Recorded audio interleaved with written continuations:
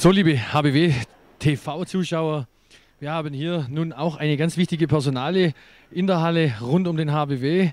Personale einer vom Team, vom Technikteam. Wir haben hier äh, diverse Techniker im Einsatz in der gesamten Halle, die dafür sorgen, dass quasi Technik, Ton, Bild und rund um den äh, Informationsstand Zuschauer, dass alle alles mitbekommen, was hier zu sehen und zu hören ist. Thomas Hennig für, den, für die Tontechnik in der Halle, ähm, im VIP-Raum, in äh, der Pressekonferenz und und und überall zuständig, dass hier alles ganz genau so abläuft, dass es für jeden verständlich ist und vor allem dann in Bild und Ton auch aufgenommen werden kann. Thomas, wie lange vor dem Spiel bist du da? Welche Aufwand oder welchen Aufwand musst du betreiben, beziehungsweise was umfasst dein Aufgabengebiet? Also ich bin circa zwei Stunden vorher da, zwei, zweieinhalb Stunden. Und äh, ich sage mal, zuerst im VIP-Raum und dann am Schluss hier noch in der Halle für den äh, Talk nach dem Spiel mit dem Spieler, wo ja du machst. Und das sind dann die Sachen, wo man dann einfach sagen muss, und die müssen anderthalb Stunden, bevor das Spiel angeht, muss es alles erledigt sein. Im Detail, was heißt es ganz genau? Was muss aufgebaut sein? Was muss erledigt werden?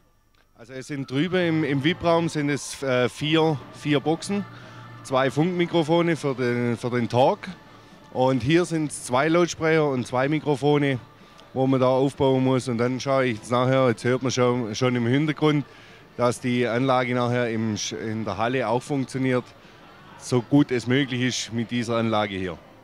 Du sprichst die Anlage an. Wir zwei vor allem sind ja hier im Team. oder Fans unterstützen als Hallensprecher immer im Clinch und sagst, ich mache die Anlage kaputt. Woran liegt es denn tatsächlich?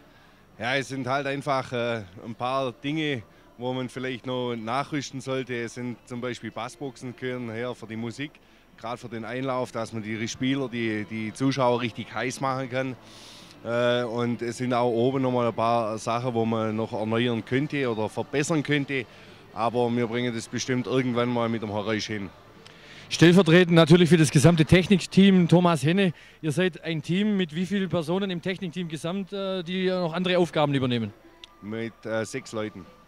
Und das heißt also, neben äh, Musik äh, gibt es noch einen äh, Bereich, wo andere äh, tätig sind. Was machen die genau? Ja, im Prinzip ist es ja unten für den Schiri-Tisch. Dort sind die Computer und so weiter. Da ist ja die zwei Müllers. Und dann haben wir oben noch jemand für die Einspielungen, für, für die Werbesache vor dem Spiel, in der Pause und nach dem Spiel. Weil während dem Spiel darf man ja leider keine Werbungen laufen lassen. Und dann ist unser Max noch, er macht die Einspielungen nach den Torjingles und so weiter. Und dann sind wir noch zwei Leute, die machen die, die bauen die Pressetribüne auf. Und das sind eigentlich unser Technikteam. Technikteam besteht wie lange oder wie lange machst du das schon oder wie lange bist du schon beim HBW dabei? Also ich war schon dabei in Tübingen.